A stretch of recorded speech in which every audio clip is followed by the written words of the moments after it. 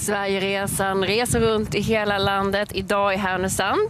Tommy är redan igång och lagar lite mat. Välkommen hit Kenneth Sillman. Tack så mycket. Kenneth, du har med dig massa fisk. Vad har du, vad har du dukat upp här? Ja, det här är vad vi har här och erbjuda i havet i princip, utom den där, för det där är odlad röding från Landön. Men den är uppvuxen och kläckt i här i Timrå.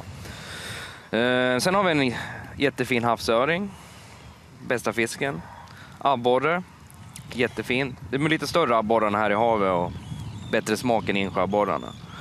Sen har vi lite sik. Det var en marinerad sik som man slänger på grillen. Gädda har vi naturligtvis ett överflöd av här, men det är inte så många som använder den mer än de fiskar den. Men den har ett bra värde som sportfiskefisk. Också. Sen har vi lite rökta produkter där som vi har gjort. Det är en pepparrökt lax, chili lime-rökt lax. Sen har vi två olika röda, rökta rödingar och så har vi en traditionell rökt sik där. Ja, härligt. Och Tommy, naturligtvis så ska du göra fisk. Ja, absolut. Vad ska du göra av detta då? Ja, det kanske lite grann är att förstöra produkten, men jag ska göra en fisksoppa, alltså skära ner den i tärningar. När man har så färsk och fin fisk så tycker jag det är allra godast att nästan bara äta den som den är. Nu kanske man inte grillar havsöringen hel som den är, men att röka den eller någonting annat är ju, är ju helt fantastiskt. Men vi ska göra en liten fisksoppa med eh, paprika och lök, chili, till vitlök. Ganska mycket fart och karaktär och mycket värme i. Det är ändå lite, lite kall vind som blåser in från, från havet här.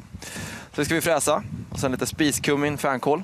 Hur gör du? Börjar du med Jag kommer börja, börja med grönsakerna här, precis. Och sen eh, bubblar jag ihop som en eh, grönsaksgrund. Och sen så lägger jag bara i fiskbitarna i slutet så de får dra. Sen kommer vi få besök av eh, och ha lite fetaost här på morgonen och då kommer jag göra en liten kräm. Lite fetaost till det här. Låter rätt bra va? Det här låter kanon. Men du Kenneth, du har ju du har krog, fiskkrog. Eh, din far är fiskare, din mamma hon har rökeri. Du liksom har verkligen fiskeriet runt omkring dig. Hur ser läget ut för fiskeribranschen idag? Ah, Den är på utdöende kan man säga. Är det så? Ja, jag tycker det, det är svårt att få tag i fisk. Det, det finns för lite fiskare.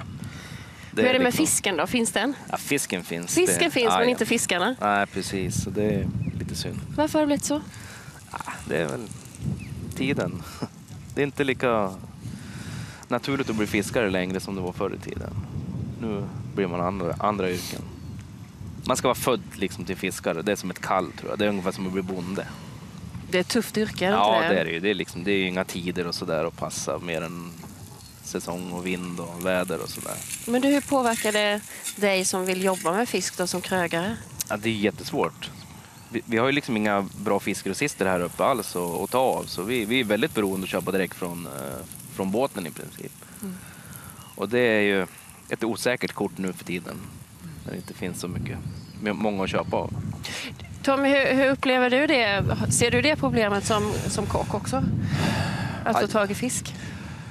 Det finns ju fisk att få tag på men ofta så handlar vi, om man är ute på landsbygden, så kommer den via Göteborg. Och det är beroende på om man inte har jobbat upp en relation då med en fiskare lokalt. Så är det ofta så att fiskaren fiskar den och sen så skickar man till en fiskaktion och sen så kommer den tillbaka. Det är ju helt onödigt. Men jag har en annan fråga som är intressant för att vi kockar får ju alltid höra att det är brist på fisk, det finns ingen fisk. Och sen träffar man fiskarna och de säger att det finns gott om fisk. Hur kommer det sig? Ja, säg det. Det är det vi ska jobba på. Ja, Nej, men det, det är som, sen är det kvoter som fylls och det blir fiskeförbud därför att det är gemensamma regler för EU och sådär som Så att kanske, det- kanske inte är helt eh, ja, omtyckta för de som håller på. För laxen till exempel, där har ni eh, fiskat färdigt kvoten. Ja, där var det stopp förra tisdagen. Mm. Och nästa år ska de dubbla kvoten. Så Det är lite godtyckligt. Men du Kenneth, du, eh, du är även matambassadör härifrån. Mm. Vad vill du liksom från Härnösandstrakten lyfta fram för, för mat för liksom sprida det lokala mathantverket? Ja, men det är ju, det Förutom är, fisken, vad är ni bra på? Det är som Västernorrland, det är, vi är bra på kött här också. Det är ju, sen finns det ju mycket vilt, men folk här, många jagar ju så att viltet är naturligt här för folk som bor här. Va? Men det är samma där om man har restaurang, det är kul att servera sådana grejer. Härligt mycket med fisk. Hur går det Verkligen. Tommy? jag tycker det går bra. Man får vara lite snabb här så att inte kolen blåser iväg. Men det här kommer bli en rejält matig fisksoppa eller fiskgryta om man ska säga. Vad härligt. Och så ska vi se hur vi får in fisken och eh, fetaosten som ska in i det här också. Där vi ska prata om. Och sen så ska vi också få träffa en man som har startat Sveriges första eller enda renodlade gindestilleri. Det ska vi prata om härifrån Härnösand när vi är tillbaka om en stund i Mitt kök Sverigeresan.